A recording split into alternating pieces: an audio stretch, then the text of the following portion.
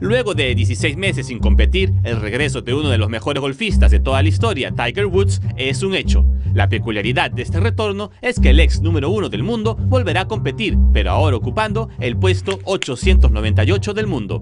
El torneo en cuestión es el Hero World Challenge de Bahamas, donde se enfrentará a 17 jugadores del top 40, como Spieth, Stenson, Fowler y Watson, entre otros. La expectativa es grande, pues el ganador de 14 grandes torneos es toda una leyenda, solo superado por su compatriota Jack Nicklaus, ganador de 18 grandes torneos y considerado el más grande golfista de la historia. Consultado por el regreso de Tiger, Nicklaus dice que cree que su sucesor aún puede romper su récord. Tiger, de 40 años, vuelve luego de lesiones en la espalda y cirugías correctivas, pero según Nicklaus, su principal problema estaba en la cabeza. Como se sabe, Woods recibió mucha presión luego de que se descubrieran sus infidelidades y ciertos excesos. Desde ahí no volvió a ser el mismo. Resurgirá como el ave fénix.